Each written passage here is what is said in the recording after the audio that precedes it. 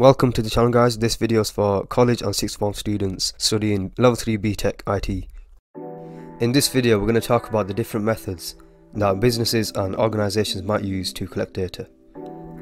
Any questions you get about gathering data will always be about businesses and organisations. One of the main reasons why businesses collect data is to gather information about what their customer wants and what they need. It's usually done for advertising and marketing purposes. Towards the end of the video we'll go over an example question you might be asked in your exam. I'll put a timestamp on the screen if you want to skip to that part of the video. On the screen here I've got three common methods of collecting primary data. Primary data is information the business has collected by themselves. The first method we're going to talk about is questionnaires. Questionnaires can be a great way for companies to gather data and information about their customers. Questionnaires allow businesses to gather information from a large population in a short amount of time. This is good because the company can generalize the data and it means it can represent a larger audience. And in the description you can see how questionnaires are usually closed-ended. So this means that everyone is asked the same question, meaning they can see trends and patterns in the data they receive. If you're asked about the drawbacks of using questionnaires, you need to mention how the questions are usually close-ended. So this means that the companies can misunderstand their data because they don't have reasons or explanations for the answers they gave. This is bad for the business because the data can't really help them if they don't understand why their participants have answered in a certain way. And another drawback of questionnaires is that they usually have a low response rate. So this is bad for the business because they have less data to go off. The next method to collect data we're going to talk about is the use of interviews. Interviews are usually focused on one-to-one meetings, which can be over the phone, in person, and over a video conference.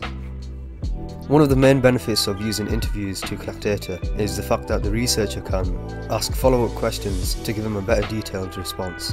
This is good because it gives them a reason and it justifies the respondent's answers.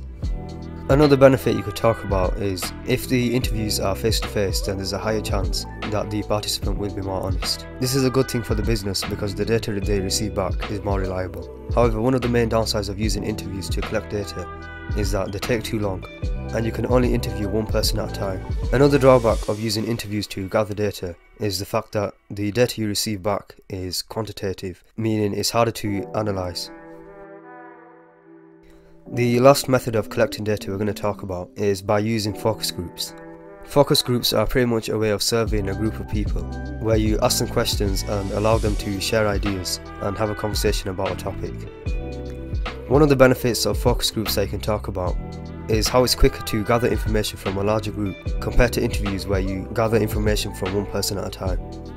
Another way that it can be beneficial for businesses is how respondents react to each other's answers, providing a more detailed answer. So this pretty much gives the company more data to go off. One of the main drawbacks of using a focus group to gather data is how it's quite hard to assemble a group of people at the same time.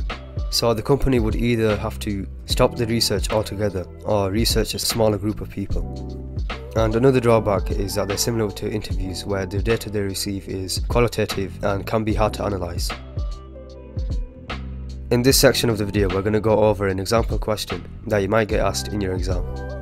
So the question tells us that the company is working on a new product and they want to get it out into the mobile computing market and they want to find out what their potential customers are looking for. So the question is asking us to analyse two primary sources of collecting data that the company could use to find out what their customers want. Now because the question is asking us to analyse our answer, we need to give pros and cons for each method of data collection. The first method I've talked about is questionnaires, and I've said how questionnaires can be good for the business, because it allows them to gather information from a larger population in a short amount of time. This is good for the business because it means if they have more data, they have a better understanding of what their customers are looking for. Another good thing of using questionnaires is how the company can gain consistent data. This is because the questions are closed in the questionnaire, and all respondents are asked the same questions.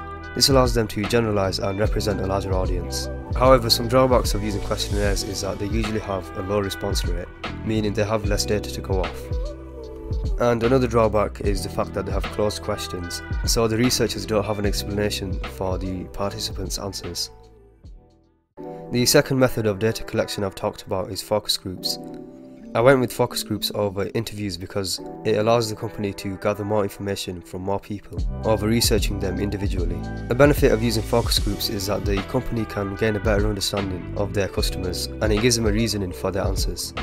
This is because focus groups allows the participants to build on each other's answers. So when, so when participants do this, it gives the researchers more reliable data. However, a downside of using focus groups is how it can be time consuming and difficult to assemble a large group of people at the same time. And another downside of using focus groups is because you've let your customers elaborate on their answers, it means that the data you get back isn't quantitative, so it's harder to analyse. Pretty much it's easier for the researchers to misunderstand the data because it's way too open to interpretation.